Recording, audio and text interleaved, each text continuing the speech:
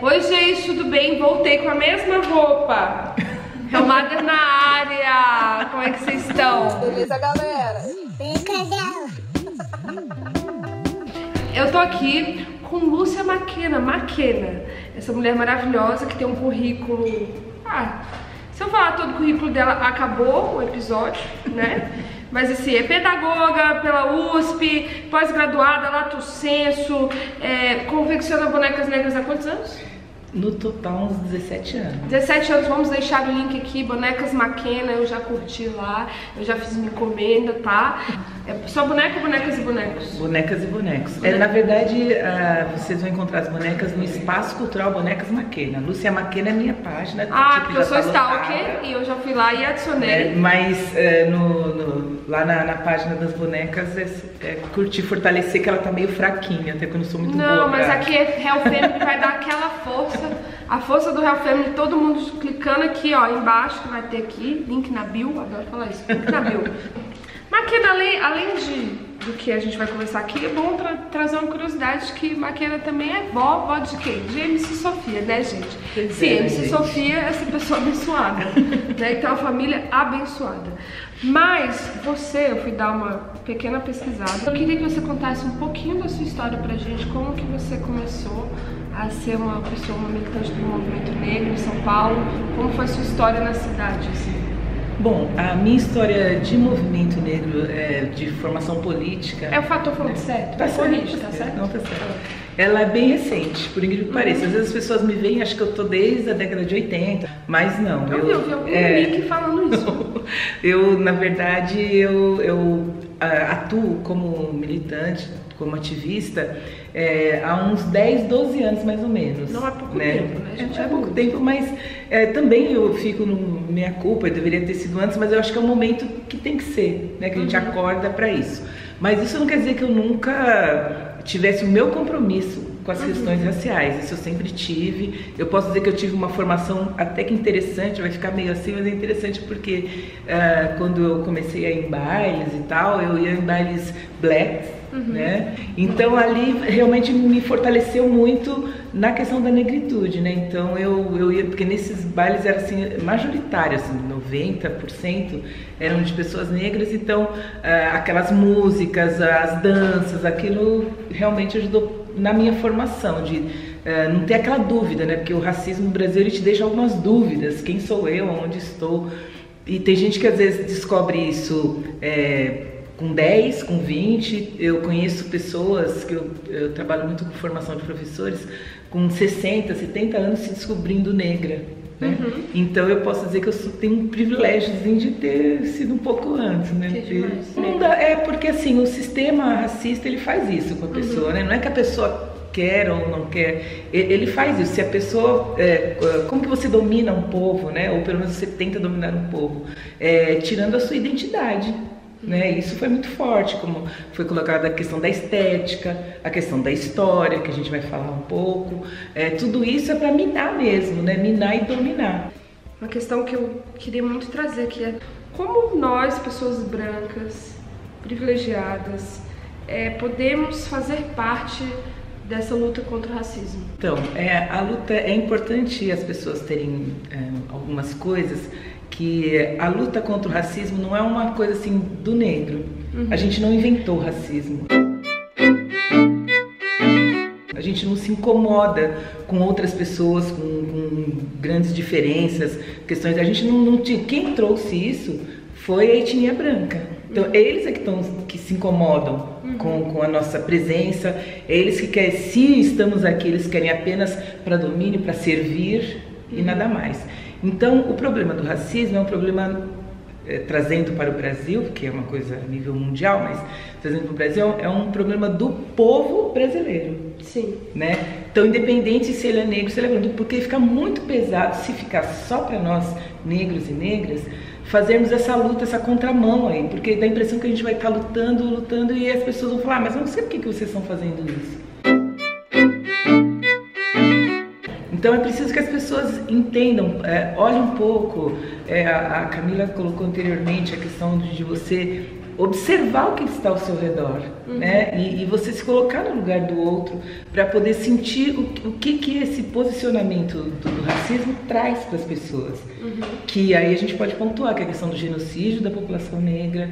Rafael Braga, um jovem que estava é, num, num, momento lá de, de uma manifestação, ele praticamente foi preso porque ele estava com um, produto de, de, de, de, limpeza na mão. Hashtag liberte né? Rafael Braga. Por favor, porque se você começar a comparar, por exemplo, a história do Rafael, que o Rafael apenas representa, né? Sim. Porque nós não temos assim, a população negra não tem um problema. Rafael Braga está preso, esse é o nosso único problema. Não, mas ele, ele representa, representa todos esses jovens negros o sistema são, carcerário, né? sistema carcerário que é muito recheado, a maioria de população negra e, e desses jovens que morrem, que tem estatísticas, são 70 de morte violenta, a gente não queria que morresse ninguém, inclusive. A questão é que o, o, sistema, é sempre o sistema que a gente vive, né? a estrutura desse sistema faz com que um jovem, aos 12 anos, teve a história do menino de 12 anos que roubou um carro e que a polícia foi atrás. Gente, isso aí é o fracasso da nossa sociedade. Da nossa, não da é da nossa, sociedade não negra. é negra, é da nossa entendeu? sociedade. Então não é, são, são só as pessoas negras que têm que lutar contra o racismo ou com, com o genocídio dos, dos jovens negros, é a gente. E principalmente a gente que está num lugar de privilégio, que está num lugar de maiores decisões.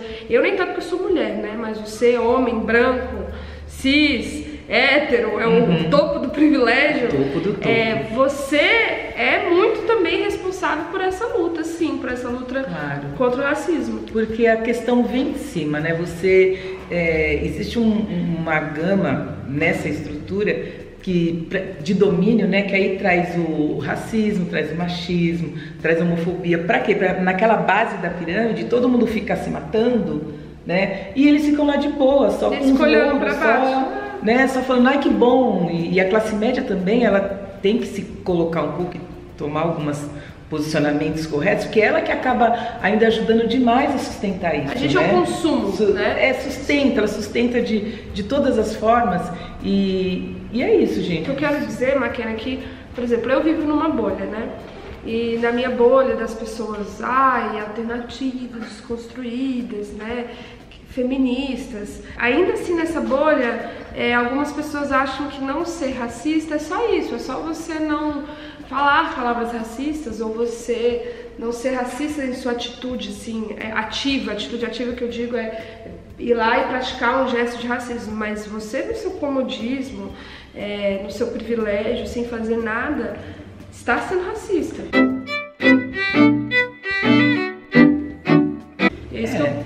Dizer, entende? Quando existe privilégio é porque alguém está sendo é, sacrificado. Você uhum. só tem privilégio porque alguém está sendo sacrificado por você.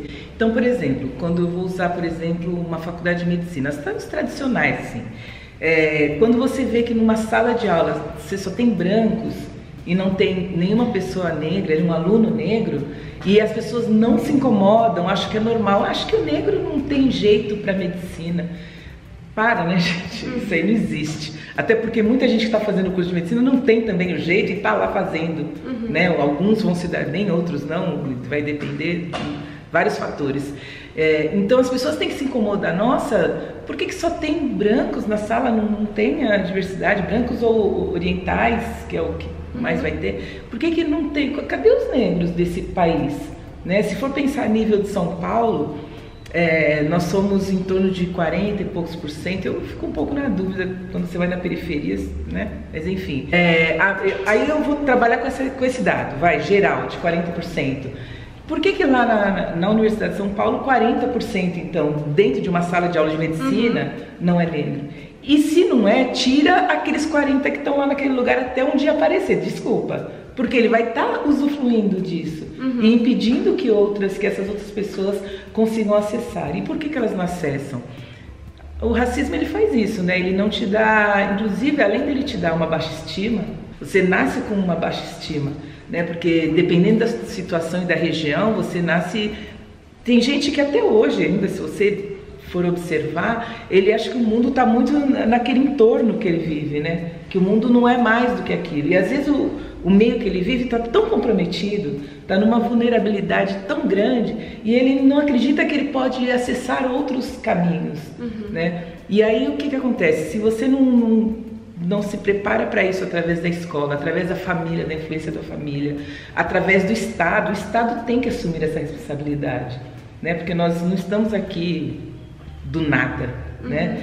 E aí fica muito difícil mesmo. E aí eu acho, é nesse momento que eu acho que as pessoas não negras, elas têm que, que vestir mesmo essa camisa. Não, vamos, vamos pro arrebento mesmo. Já que a gente não consegue melhorar da estrutura, vamos melhorar começando aqui do topo, para aí sim, daqui 5, 10, 20 anos, termos mais pessoas negras já pós-graduadas, mestradas, e aí sim a gente começar a fazer a diferença, porque, né? Fica difícil. Não vai. Você que tá falando, ah, eu não quero cotas, tem que começar a melhorar a educação, você não tá fazendo nada. Porque quem tá fazendo alguma coisa para melhorar a educação ali do. É primária que fala? Educação fundamental. A educação fundamental, quem está fazendo isso é a favor das cotas. Isso. A questão das cotas é assim: primeiro, que é uma luta de mais de 70 anos que os, a população, a, o movimento negro é, sempre se preocupou com essa questão da educação, da educação da população negra, porque nós somos um grupo, nós somos todos seres humanos, ótimo, lógico, claro, mas nós temos as nossas é, diferenças e que bom que sejamos uhum. diferentes. E, e o que, que acontece? Então é uma luta que já tem de muitos anos de muitos anos, precisou de muita manifestação, muito texto, muita reunião, muito seminário, muito congresso e muitos governos para que um dia né, ele fosse assinada essa lei de cotas. E nesses acordos e, e discussões, porque o Brasil nunca quer assumir o seu racismo, é, nesse, se você lê o texto das cotas, ele está dizendo que é cotas para jovens negros, né, para pessoas negras, para alunos oriundos de escolas públicas, então se ele é preto, se ele é branco, não interessa, e para alunos com deficiências e tal. Então, se você entrar no SISU, por exemplo, fazer a inscrição lá na Universidade Federal, é, essas cotas ela está dividida com um monte de gente. E, e, e, é interessante que a mídia, por exemplo, ela não fala isso. Ela fala só para provocar e para fomentar a discórdia, porque infelizmente é isso que ela consegue fazer. Não a cota para negros, mas ela não lê tudo. Um monte de pessoas não negras entraram pelas cotas em universidades federais pelo sistema de cotas e, e tirando aqueles que querem eh, né, é, se sobrepor sobre isso, mas são pessoas que vieram das escolas públicas. Uhum. Porque na escola pública é só você colocar lá, você, você estudou a vida inteira em escola pública, você pode é, é, contestar essa questão, ir atrás dessa questão que você tem esse direito. Uhum. Né? Aí aguarda lá a sua chamada normal e tal. Então, essa é uma questão, é uma luta do movimento negro de mais de 70 anos para melhorar a educação. Outra coisa, quando as pessoas falam, ah, mas tem que ser lá no ensino fundamental, no básico, no infantil. Sim, mas só que a gente tem hoje uma população de jovens que poderia ser maior, mas não é maior por conta do genocídio, que conseguiu concluir o ensino médio uhum. e que está aí buscando outras coisas, sonhando com coisas que, que ele não consegue, porque ele com muito sacrifício conseguiu chegar até o final né, do, do, seu curso e tal, mas ele não consegue acessar a universidade. Aí vai fazer o que, que esse povo? Vai colocar todo mundo congelado para daqui 20 anos, 30 anos, 40, 60. Eu, educadora mesmo, ainda jogo lá para uns 100 anos. Ah, realmente, ah, essa educação ser equiparada, até porque tem história e cultura afro-brasileiro, que, que seria um dos caminhos para melhorar essa qualidade, né, que, é, que é a lei de História e Cultura Brasileira nas escolas, desde o ensino infantil até o ensino superior, escolas particulares e públicas. Essa lei é, fala o quê? Mas eu dou muita formação para professores em escolas públicas, pelo menos até o ano passado a gente conseguia fazer isso pela Secretaria de Educação, um trabalho muito bom que foi feito mas é, você, a gente não conseguiu atingir todos os educadores. Então, como que você vai melhorar a qualidade do ensino é, da noite para o dia? As escolas elas têm é, milhões de coisas para serem discutidas, porque a sociedade é diversa em, em, em tudo, né? Mas é, vou falar do que eu mais ou menos dou conta, que é da questão racial. Quando você vai discutir a questão racial, você vai trazer autores, você vai trazer personagens. Isso bate em algumas pessoas que têm o seu racismo na caixinha, guardadinho quietinho lá, Sim. sem mexer. E até a pessoa absorver toda essa informação, transformar em uma coisa que ela possa passar com credibilidade, isso aí são anos e anos. A pessoa às vezes até passa mal, fica doente, Porque aí ela vai começar a ver os seus preconceitos, os seus privilégios e tal. Isso aí é um processo muito longo, por isso que Sim. eu acho que equiparar. É enraizado, né? Gente? É, equiparar a educação é uma coisa que é um processo longo mesmo, né? Não, não vai acontecer em dois, em dois, três anos, porque se fosse assim, essa lei de, de história cultural foi de, desde 2003 também. Desde 2003. Aí eu pergunto você, querida seguidor, seguidora, querido seguidor aqui do canal na escola do seu filho ou da sua filha, ou do seu primo, ou da, da sua sobrinha, você que não tem filho, é, estão aplicando essa lei? Se não estão aplicando, que tal você pegar a lei, ir lá e reivindicar isso? Falar, vem cá, diretora, diretor, por que, que não está acontecendo isso aqui na escola? O que, que a gente tem que fazer para, na escola, ter essa educação racial para o meu filho? Porque é um direito da criança, um direito do cidadão. Você está lutando uma escola de qualidade? Começa por aí, minimamente. Olha, eu quero uma escola de qualidade porque eu quero que não tenha mais a lei de cotas. Então, a partir de agora, eu quero meu filho estudando História e Cultura Afro-Brasileira. Uhum. Indígena também é 11.645, porque o que é estudado de indígena também é muito viajando. É, o índio. Né? O é, índio. O indígena, pelo amor de Deus, são milhões de etnias, é né? muito complicado. E o indígena é. Bom, primeiro que o indígena ele é é, o verdadeiro dono dessa terra que foi invadida pelos portugueses. Ponto, né? Não uhum. tem que discutir isso daí. É, eles também sofrem um genocídio, sofreram, tanto é que hoje a porcentagem só, de indígenas só jovens, é, né? é, ali é todo mundo, né? Todo mundo. Uh, Mato Grosso, todo lugar onde eles lutam pela terra, eles são massacrados muitas vezes e a gente tem um número ínfimo de indígenas tanto é que a maioria da população é negra, não é indígena, né, gente? Em 1840, mais ou menos, o negro, filhos né, de, de negros não podiam ir para a escola, era, existia essa lei. Passados uns 40 anos, mais ou menos, de batalha, é, ela foi, eles foram liberados, mas eles podiam estudar só à noite e junto com os leprosos. Quer dizer, uma coisa muito para você né? se animar. É, a questão do, dessa doença, que hoje, graças a Deus, eu acho que está super sob controle, mas pensa nisso em 1890, os europeus tiveram, porque eles tinham, e tem até hoje, tá, tá é fato, né? Uhum. Que o Brasil fosse um país branco. Tanto é que a questão de você colocar hum, pardo, isso aí foi uma, uma lei também da década de 60 mais ou menos, que era para tirar um pouco, que tava, era, sempre dava maioria negra, né? sempre dava maioria negra né? nos, nos, nas contagens lá, então eles começaram a, a colocar o pardo, porque aí dava uma quebrada. Tanto é que até hoje no IBGE ainda e o movimento, é, o movimento negro ainda acha que é importante ficar o pardo, porque se é ainda ficar para pesquisa, porque senão o cara vai chegar na hora ele vai falar eu sou branco. Ele não, entendeu? Então a gente, porque se você ver a contagem, vai dar mais pardo e menos negros. Entendi, tá? porque tem muito negro que acha que é pardo, que se considera Por, pardo. É, e tem a miscigenação também, meus né? filhos nasceram claros.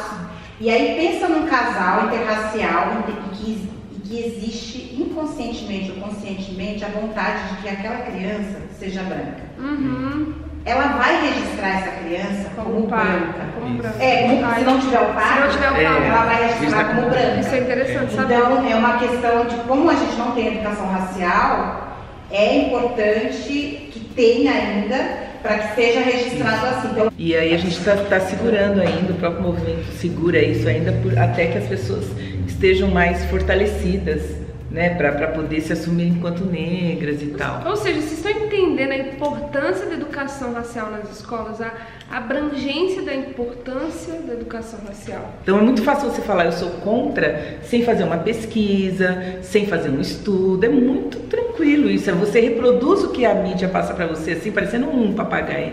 Um ser humano que se diz inteligente, que se diz um animal mais inteligente, que se diz não sei o quê, ele vai reproduzindo essas falas e não, não vai parando para pensar, né? Gente, é o famoso, como eu repito em todo episódio, né, cara? Busquem conhecimento.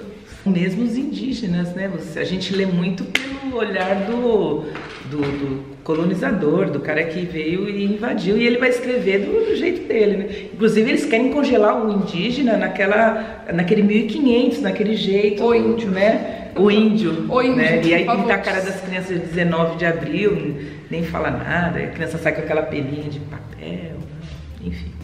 Deixa aqui sua mensagem para pessoas, para educadores, educadoras, para mães, para pais, para pessoas que querem transformar o mundo e estão sem esperança ou com a esperança. Bom, para os educadores, eu sou educadora, eu me formei no magistério depois que eu fiz a pedagogia, fiz uma especialização em formação de professores, provavelmente devo fazer um mestrado, não sei, vamos ver, sou muito nova ainda, tô, né? É, eu queria dizer assim que eu acredito muito na educação, por isso que eu estou nessa área. Eu sou da área da arte e educação hoje, mas eu acredito muito na educação. E acredito muito nos educadores, porque eles são estão ali no, no, no chão da, da, da, escola, eles que estão com as crianças todos os dias, eles que recebem toda a influência que a sociedade traz para essas crianças dentro de sala de aula. Então eu, eu admiro demais e sei muito do esforço deles. Conheço diversos professores que têm trabalhos maravilhosos e eu sei do potencial deles, porque eu também sou educadora, embora não esteja lecionando, mas eu trabalhei muito tempo e conheço muitos educadores e vivo muito com esses educadores. Então eu sei desse potencial, existe um potencial. Agora, é, o que acontece, é, principalmente se tratando da lei de, de história cultural brasileira e indígena também, é que é preciso que os governos invistam né, na formação desses educadores. É preciso que haja um, dê um crédito para eles, dê condições para que esses professores se preparem e estejam aptos para trabalhar. Porque eles estão lá, eles estão trabalhando, eles estão dando o seu melhor, eu tenho certeza disso. Né? E, e eu acredito que quando houver maior investimento da área da, do, do, governo estadual, federal, municipal, é, eles vão estar muito, melhor, muito melhores preparados para dar conta disso. Enquanto o apoio financeiro não bate a sua porta, querida escola, querido educador, querida educadora, faça o seu projeto, estude, pesquise. É, é a historinha da formiga, né? Passo de formiga, mas sim, já seja transformação você na sua escola, seja transformação você na sua casa, educando seus filhos, se você não consegue fazer isso na escola. Ah, Ellen, eu sou uma mãe que trabalha de 7 da manhã, uhum. chego em casa 9 horas da noite, eu não consigo fazer parte da escola do meu filho. Então seja essa pessoa que traga essa educação racial para o seu filho, né? Isso. É, tipo, o seu filho pode passar isso à frente, faça o que você é que seja possível para você, mas não espere os outros fazerem por você.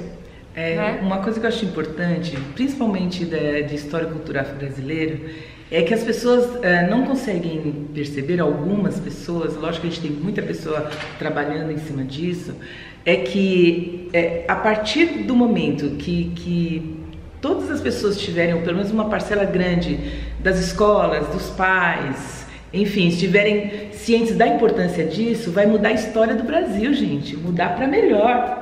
Né? É, é, um gancho muito importante isso. As pessoas têm que entender que esse projeto, que essa luta que o movimento negro traz de muitos, muitas décadas, é para melhorar o Brasil, nunca para retroceder. Uhum. Então é isso que as pessoas têm que entender, que é, que é uma coisa que vai ser bom para todo mundo. Tem muitas coisas acontecendo, muitas escolas têm trabalhos maravilhosos, mas ainda a gente precisa trabalhar muito em cima disso, que ainda falta muito ainda por se fazer. Isso precisa ser popular, isso precisa ficar na moda, sabe? Ficar na moda. Pode ser moda, todas as escolas trabalharem as questões raciais. Isso. Maquena, muito obrigada, obrigada, pela sua aula, né? E as portas estão abertas aqui para você sempre voltar. E não esqueçam de ir lá na página das bonecas Maquena, tá? Todo mundo indo. E quem quer saber mais da Maquena, a gente vai pôr link, sur de link.